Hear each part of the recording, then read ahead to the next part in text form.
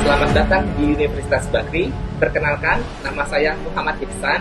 Saya dosen teknik sipil Universitas Bakri, terutama mengajar di bidang struktur gedung,